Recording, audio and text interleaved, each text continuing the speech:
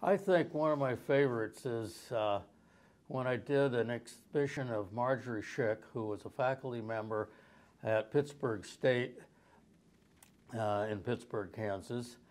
And she was nationally and somewhat even internationally known as uh, an artist doing wearable art. And uh, very exciting, colorful work.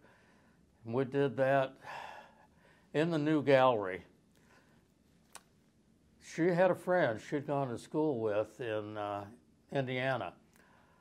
And this friend uh, had married someone that had a business of uh, laminated uh, wood products, specialties uh, paneling.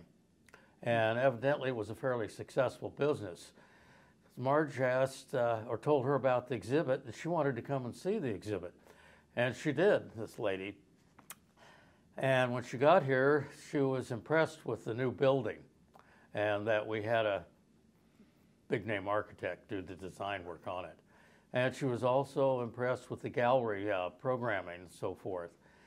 So after she uh, had returned back to Indiana, she spoke with her husband about uh, the possibility of them giving something to the library.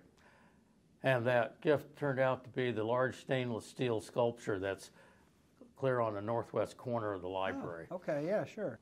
The Library of the Year Award, which was what, a couple years ago now, probably more than that, I think 16, wasn't it? Yes. Yes. And uh, that was a big surprise that Topeka, who probably most of the United States has never heard of, mm-hmm. received that honor. And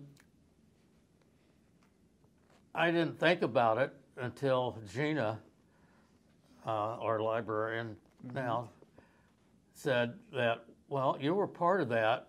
We didn't get that just overnight. That you and other staff members that have worked over the years mm-hmm.